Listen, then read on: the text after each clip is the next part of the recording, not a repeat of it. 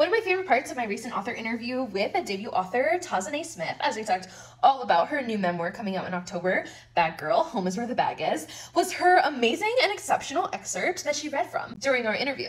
Her writing style was very beautiful and poetic and descriptive, and so I wanted to let you guys all listen to it. If you haven't watched the full author interview over on YouTube, definitely check it out, but watch a short clip where she reads her excerpt from her book, and you can learn a little bit more about her through this, and definitely definitely give her a follow if you aren't already. Her book, Bag Girl, Home is Where the Bag Is, is available on Amazon and Barnes & Noble for pre-order, so definitely check that out too. So I understand you have prepared an excerpt to read from your memoir. I'm really excited to hear it. I do. So I thought I'd read the prologue of my book. Um, so the prologue is Christmas Eve 2020 and it start out as there is a safety and familiarity, even if what's familiar isn't what you consider ideal. It was what I reminded myself of as I pulled into the Motel 6 parking lot and looked up at the neon sign that cast a faint, sickly glow on the faded asphalt below. The brick was also faded, and the structure that housed the broken, the broke, and just plain dejected was looking like a forgotten slice of the town everyone simply drove by. But to me, that was it. This was the familiar, it often came to feel like home for only the simple fact that I had found peace here many times over the last few years in my 20s. Falling short of what popular sitcoms and songs have promised me in a small, snug room that had no space for toxicity to creep in and catch me unguarded. I had to pay either nightly or weekly to be the master of my own domain.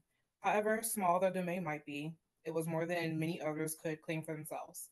For the homeless out on the street to those crowded in shelters, I was lucky to be in neither category, though at this moment, luck felt like it was in a short supply. On this night, as Christmas Eve slowly faded into Christmas Day, this safe haven beckoned me to come in after I'd fucked up badly earlier in the day with my Nana. I had a place with her, and I didn't. Like a dam split open, my anger and my PTSD from a life lived as if walking on broken glass filled the apartment. We were both yelling at each other, and I had no option but to pack myself and leave.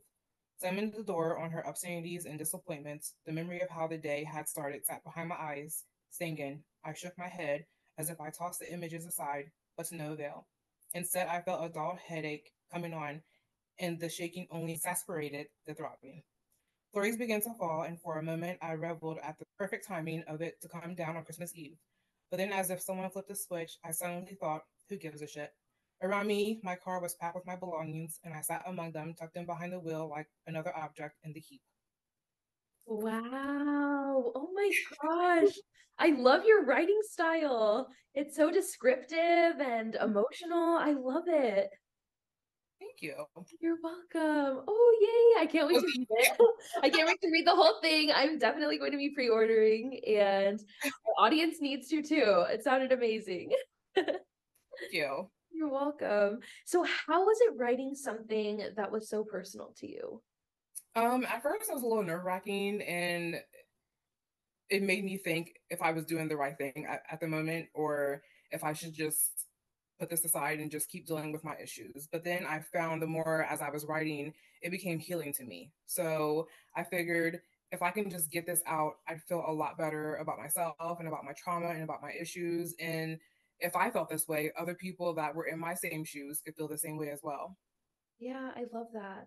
I love when I hear people when I do interviews, and I've had a couple people who have like gone through really hard things in their life, and when they're able to take their pain and make it into something beautiful that can help other people, like that is the most beautiful thing you can do with anything that's handed to you. And so that's really inspiring, and it makes me really, really happy to hear that.